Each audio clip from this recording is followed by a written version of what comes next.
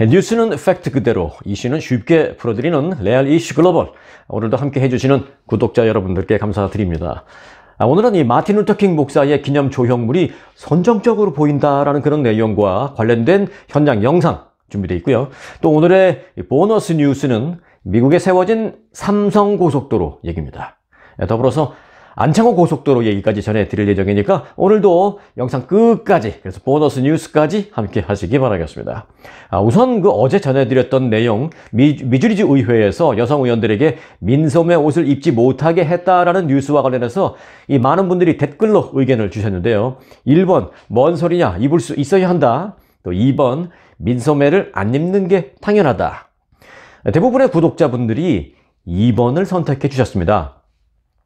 아, 아이디 잉황님, 또 스텔라 용님, 모나르다 정님, 민리사님, 제인유님, 스테파니 케이님, 윤정님, 정허님, 제니황님, 희숙노님, 김혜영님, 희숙신님, 헬레니님.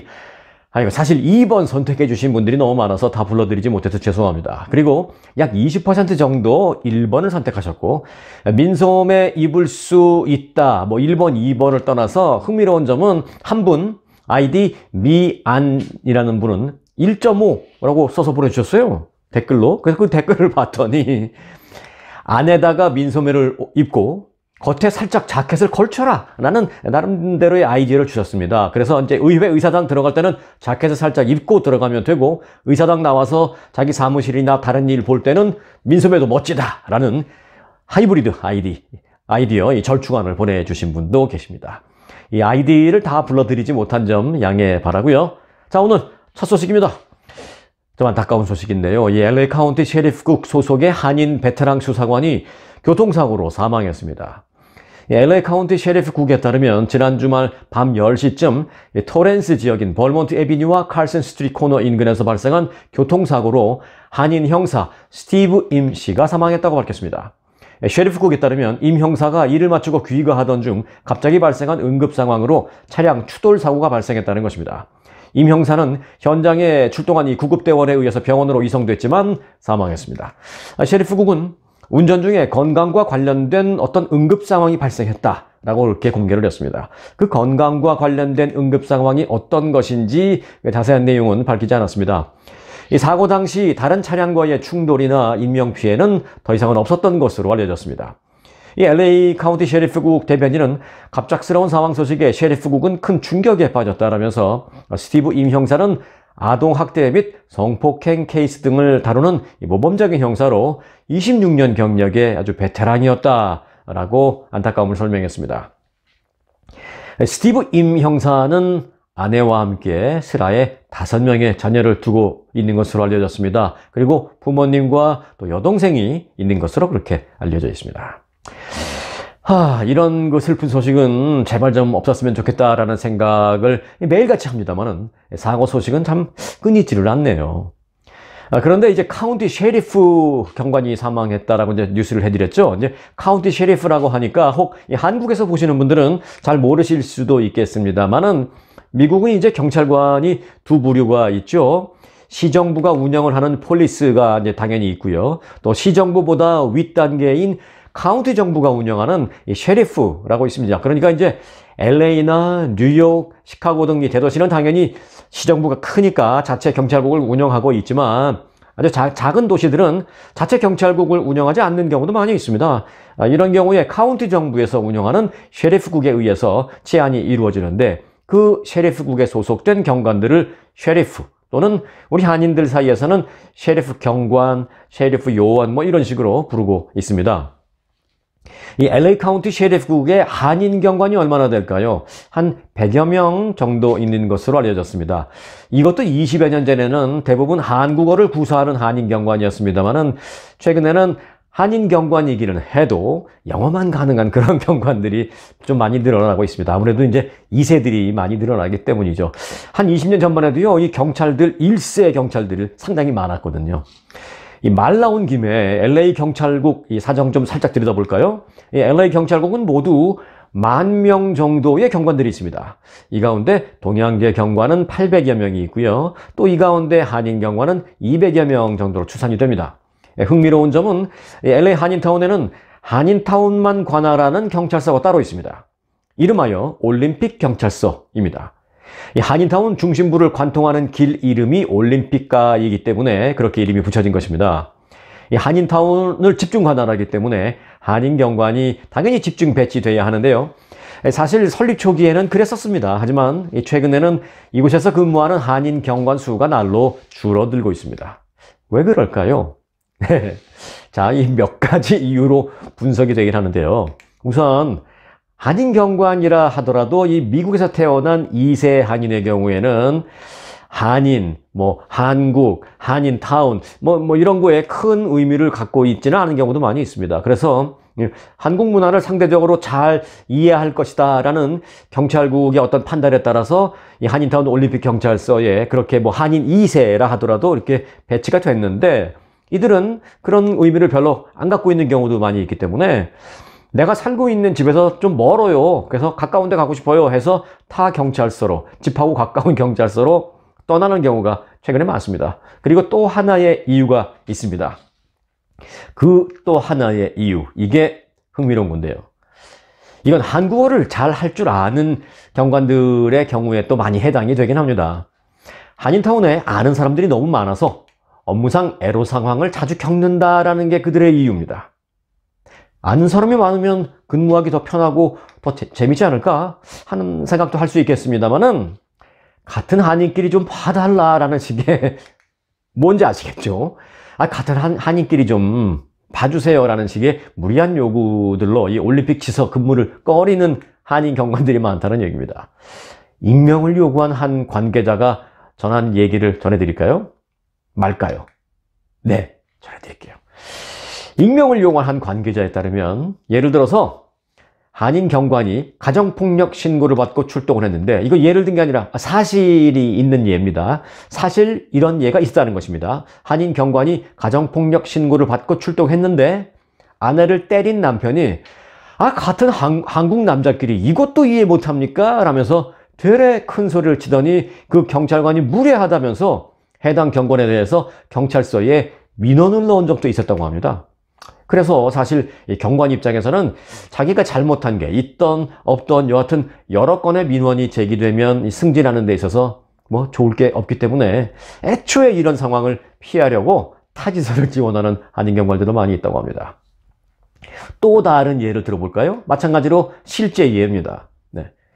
친구의 아들이 경찰인 것을 알고 난 뒤에 그 관계를 앞세워서 상황을 해결해 달라고 요구하는 경우도 있었고요. 또 간단한 경범죄로 인해서 티켓을 떼면서 좀 봐달라라고 때를 쓰는 경우도 있다고 합니다. 심지어는 같은 한국 사람이니까 아, 내가 필요해서 그러니까 경찰서 내부 기밀 한 가지 좀 급히 좀 알려줄 수 있을까요? 라고 그런 걸 요구하는 한인들도 있었다고 합니다.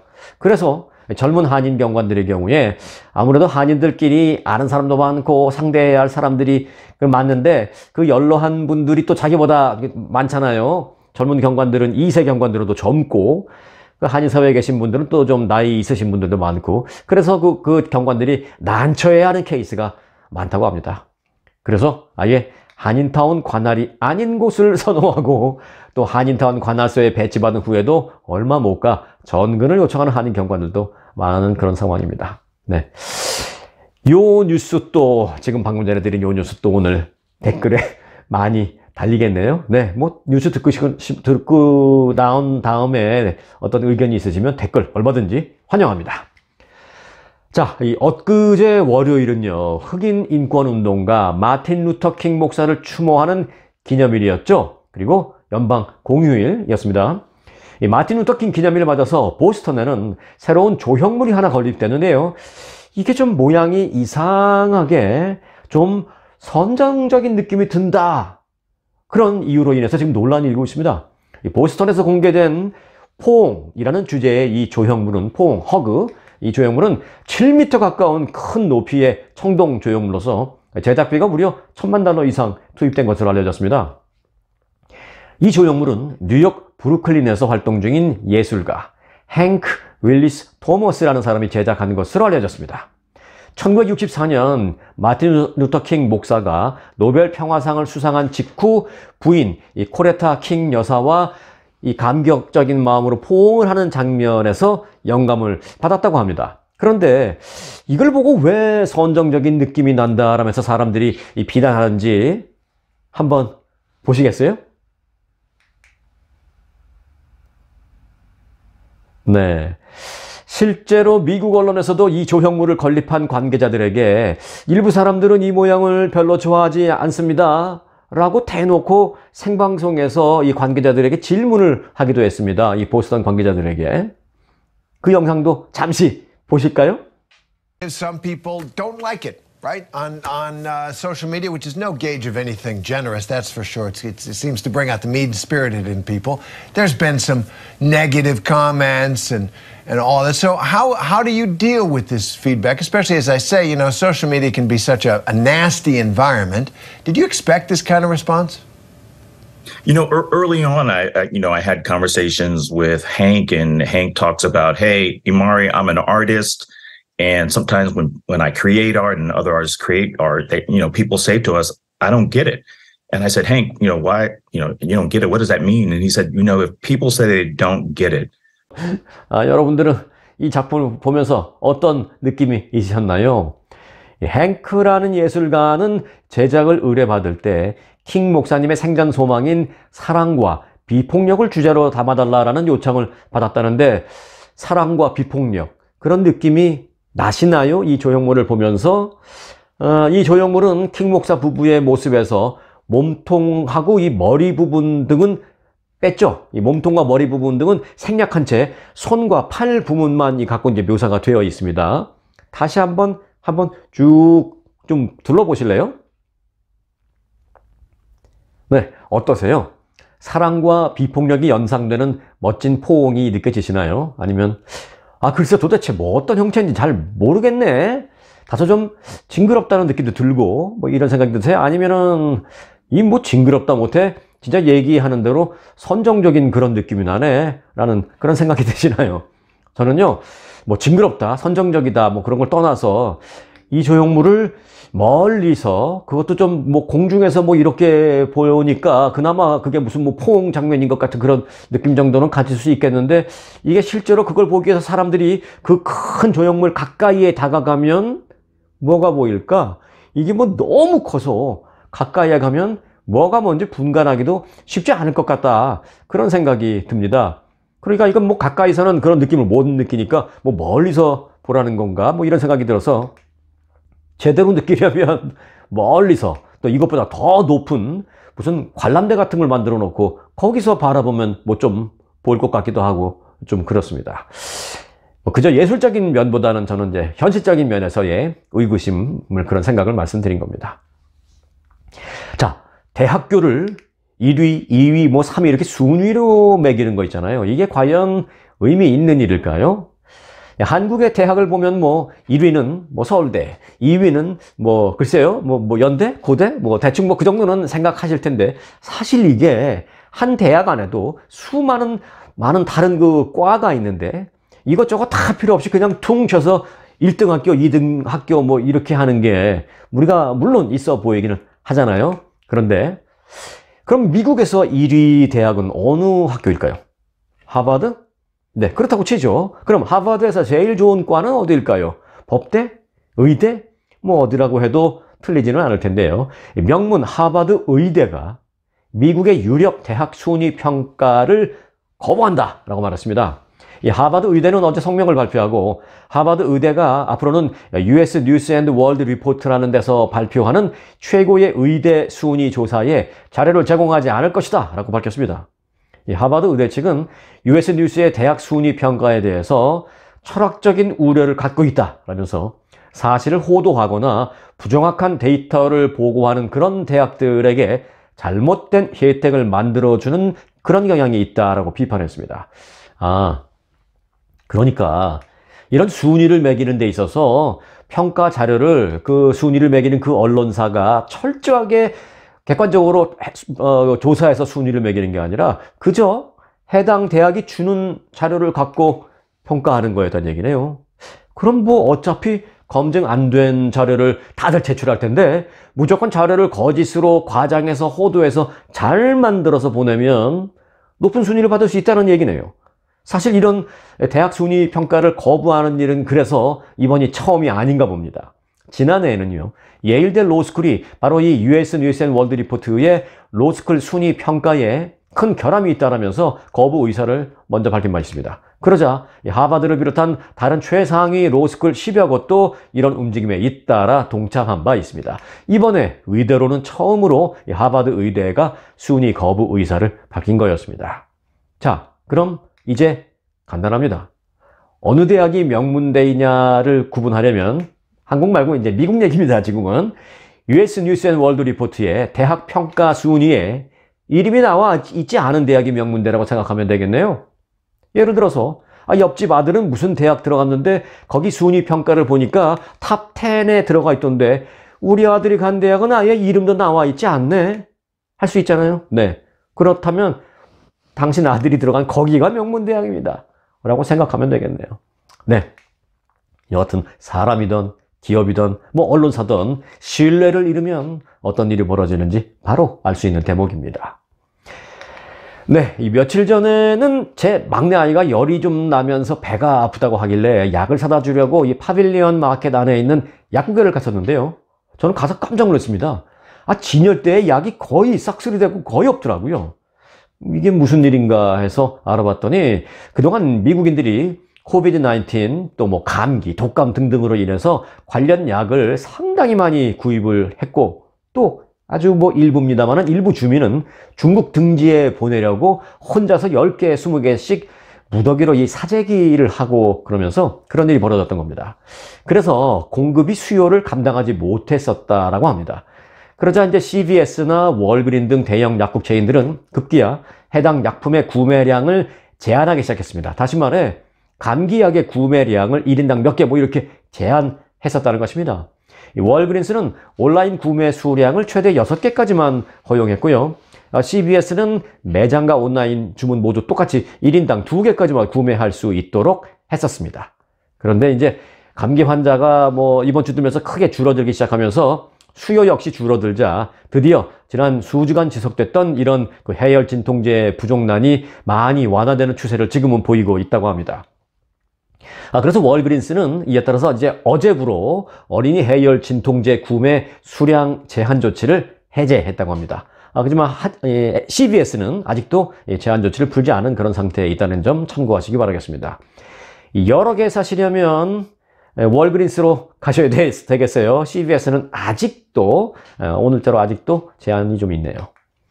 한편 연방질병통제예방센터 CDC는 미국 50개 주 가운데 절반의 지역에서 독감을 비롯한 호흡기 질환 감염들이 여전히 높은 상태다라면서 주의를 당부했습니다. 감기 조심하세요.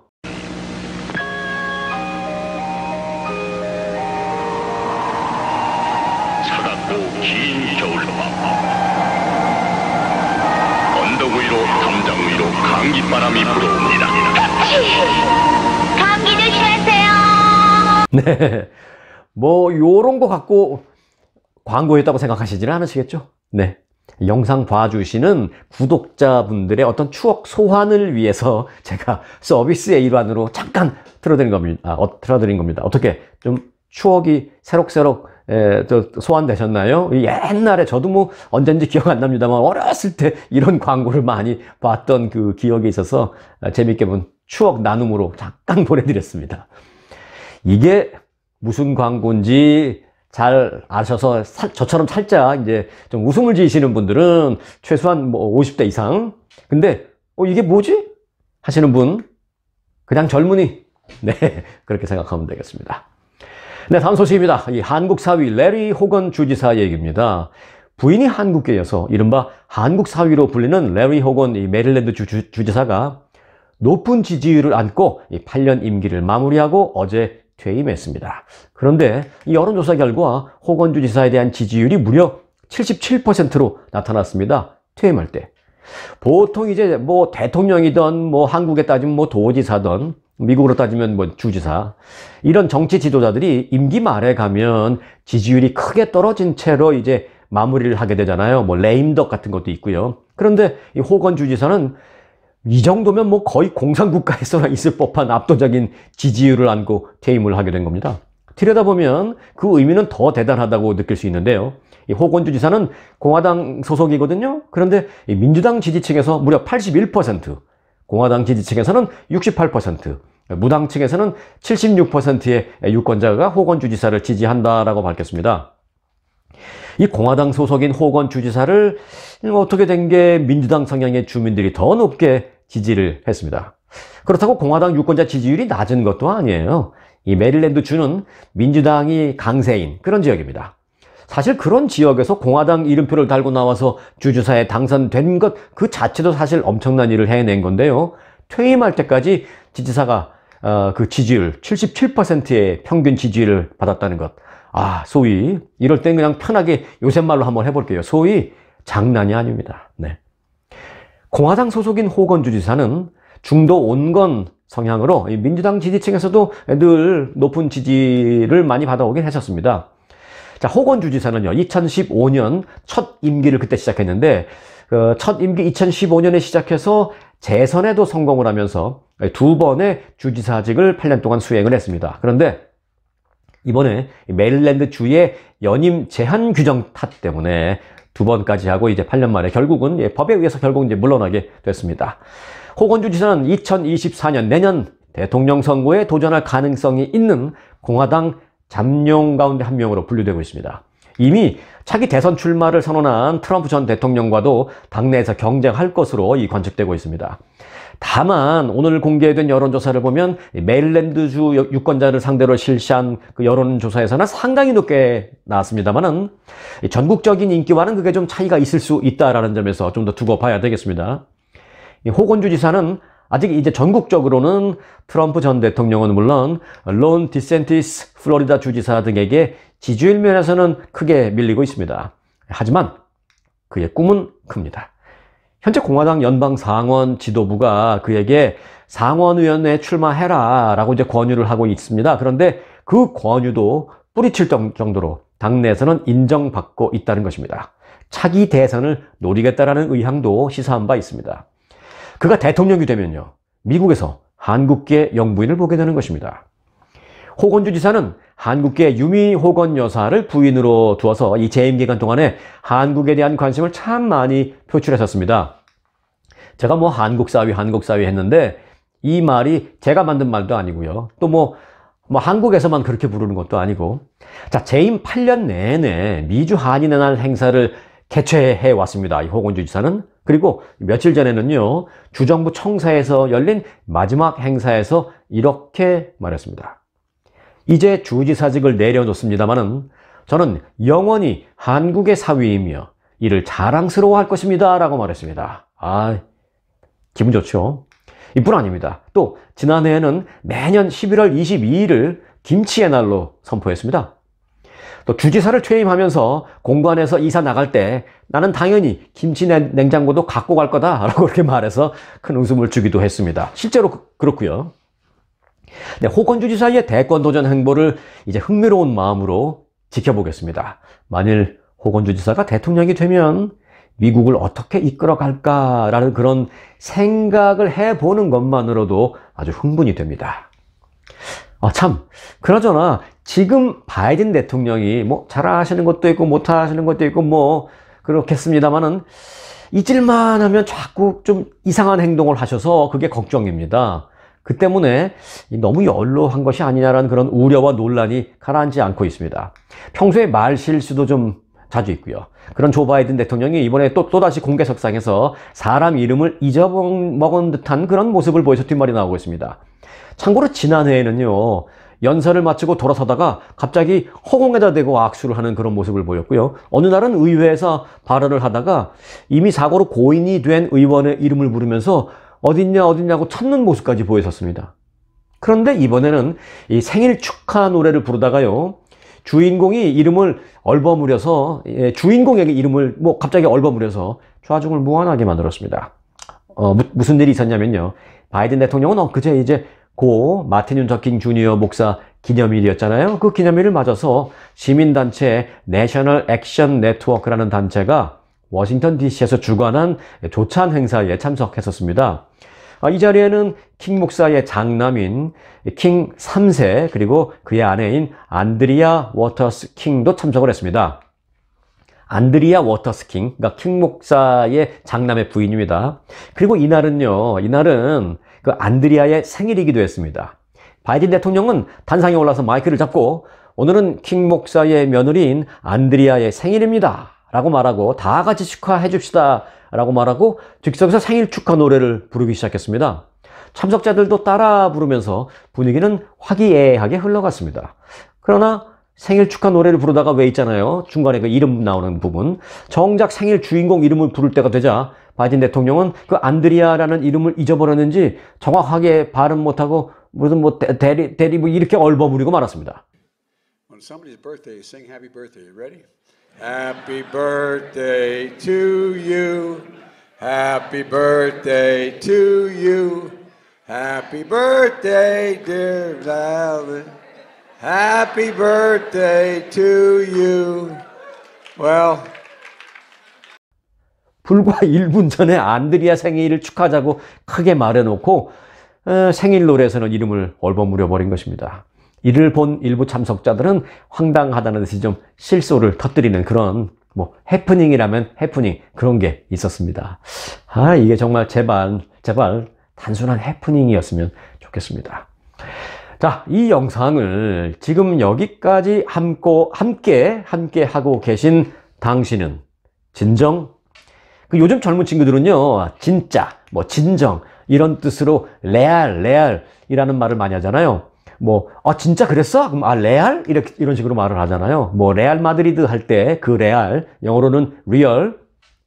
자, 영상 여기까지 함께 하고 계신 당신은 진정, 레알, 레알 이슈 글로벌의 찐팬입니다. 찐팬. 자, 찐팬들만을 위한 뉴스, 보너스 뉴스 시간입니다. 텍사스주에 삼성고속도로가 생겼습니다. 지난 15일 산업계에 따르면 지난해 12월 텍사스주 윌리엄스 카운티, 카운티는 삼성전자 신공장 부지와 기존 고속도로를 잇는 새 도로의 이름을 삼성고속도로로 정했다라고 공식 발표했습니다. 영어식으로 읽으면 Samsung Highway가 되겠죠. 네, Samsung Highway, 삼성 고속도로. 삼성전자의 대규모 투자에 감사함을 표시하는 동시에 향후 공장 운영에 지원을 아끼지 않겠다라는 의미를 담은 것으로 해석됩니다. 삼성전자는 지난해 11월에 170억 달러, 한화로는 약 21조 원을 투자해서 이 윌리엄스 카운티 소속 테일러 시의 파운드리 신공장을 건설한다고 발표했습니다. 어? 여기서 잠깐만요. 한국 뉴스, 특히 무슨 뭐 컴퓨터, 무슨 뭐 반도체, 뭐 삼성전자 이런 관련 뉴스를 듣다 보면 모든 방송자 기자들이 보도를 하면서 뭐 파운드리, 파운드리 이런 용어를 많이 쓰는 거 어, 겪어보셨을 것입니다. 이 파운드리가 과연 뭔지 아는 사람이 그런데 몇 명이나 될까요? 혹시 어, 뉴스에서 툭 하면 이 언급하는 반도체 파운드리라는 게 구독자 여러분 혹시 아세요? 뭔지 아세요? 많이 아신다면 정말 real, 레알, 대단하신 겁니다. 그런데 그게 도대체 뭐야? 난 몰라. 몇 번 들은 것 같은데 잘 모르겠는데? 라고 생각하신다면 아주 자연스러운 겁니다. 자, 설명드리고 가겠습니다. 원래는 F 발음으로 해야 돼요. 파운드리라고 하는 거지만 그냥 우리끼리니까 파운드리로 할게요. 우리끼리니까. 아무튼 이 파운드리라는 것은 반도체 산업에서의 위탁 생산 전문 업체를 의미합니다. 어, 생각보다 간단하고 짧죠? 쉽게 말씀드리면 설계, 뭐 기술 개발 이런 거는 안 하고요. 단순히 반도체 생산에만 치중하는 그런 생산 업체를 말합니다. 다시 풀면 반도체라는 것은 사실 그 얼마나 작은 칩에 얼마나 많은 양의 정보를 넣을 수 있느냐. 그게 결정적인 싸움이잖아요. 그게 또 기술이고요. 그런데 그 기술 개발은 알아서 이제 개발 기업에서 다 하고 이 파운드리라는 공장에서는 주어진 매뉴얼에 따라서 그 반도체를 계속 만들어내는 소위 찍어내는 역할을 하는 반도체 생산 공장이다 라고 생각하시면 되겠습니다. 자, 아셨죠? 이제. 자, 그럼 다음 기사를 읽어 드려도 금방 이해가 되실 것입니다. 다음 기사 그냥 바로 제가 쭉 한번 전해 드려 볼게요. 삼성전자가 텍사스에 짓는 이 파운드리에는 5나노미터급 반도체를 생산할 수 있는 최첨단 시설이 들어선다. 삼성전자는 현재 테일러시 인근 오스턴시에서 10나노미터 이하의 반도체를 생산하는 파운드리를 이미 운영하고 있다. 라고 이제 뉴스들이 여기저기 많이 나옵니다. 자, 뉴스가 금방 귀에 쏙 들어오시죠?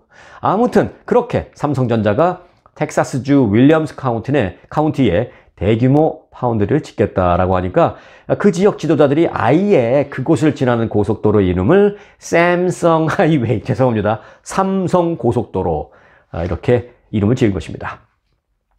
잠깐만 샛길로 조금만 더 빠져가 볼까요? 미국은 고속도로마다 번호가 있습니다. 한국에서도 잘 아는 뭐 헐리우드를 지나서 산타바바라를 거쳐 샌프란시스코를 통과하는 freeway, 101번 freeway. 이걸 뭐 이제 101 하이웨이 뭐 이런 식으로 말해요. 그런데 이런 번호 외에도 그 고속도로가 지나는 구역마다 별도의 이름을 붙입니다. 이 101번 하이웨이, 101 하이웨이도 헐리우드에서 벤츄라 카운티를 지나는 그 구역에서는 이름이 벤, 벤츄라 하이웨이라고 불립니다. 왜 있잖아요. 그, 그 70년대 미국의 밴드 아메리카라는 아주 진짜 밴드 이름이 너무 쉽죠. 미국, 아메리카 라는 그 이름 그 그룹의 노래도 벤츄라 하이웨이라는 히트송이 있잖아요.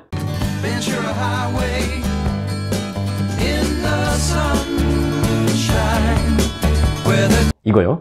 그리고 또 이제 405번 freeway라고 있는데 이거는 LA 공항을 거쳐서 샌디에고까지 이어지는데 이건 그래서 또 샌디에고 freeway라고 이름이 붙여져 있습니다. 지역을 따서 이름을 보통 붙이는데 이걸 바꿔서 특정 기업 이름이나 또는 특정 사람의 이름으로 붙여준다는 건 그 지역 주민들과 정치인들이 모두 또 동의를 해야만 가능한 거라 보통 일이 아닙니다, 사실. 삼성의 파워를 볼 수 있는 그런 케이스입니다. 삼성 하이웨이 얘기하다가 살짝만 샛길로 빠져볼게요 했는데 뭐 어차피 보너스 뉴스니까 조금 샛길 한번 더 가볼까요? 미국에서는 고속도로에만 이름 붙이는 게 아니라 주요 고속도로가 교차하는 이 고속도로 고속도로 교차 지점 즉 인터체인지라고 하죠. 아 한국에서는 IC라고 하죠. 그 인터체인지 지역에도 특정 이름을 부여하는데 가끔 그 영적인 인물을 기념하기 위해서 그분들의 이름을 붙이기도 합니다. 그런데요, 아주 자랑스럽게도 우리 미주 한인 이민의 선구자이신 도산 안창호 선생을 기념하기 위해서 몇 년 전 LA시 의회는 LA 다운타운을 통과하는 지역의 인터체인지 그 지역을 도산 안창호 인터체인지라고 명명했습니다. 그냥 도산 인터체인지도 아니고요. 안창호 인터체인지도 아니고요. 또 미국 사람 기준으로 본다면 뭐 챙호 앤 인터체인지 아닙니다. 그냥 그대로 써 있어요. 도산 안창호 인터체인지 라고 명명했습니다. LA 한인들은 수시로 그것을 통과하면서 자랑스러움을 느끼고 있습니다. 자, 그 사진이 나가고 있는데 잠시만 함께 보시면서 선조들을 자랑스럽게 추념해 볼까요?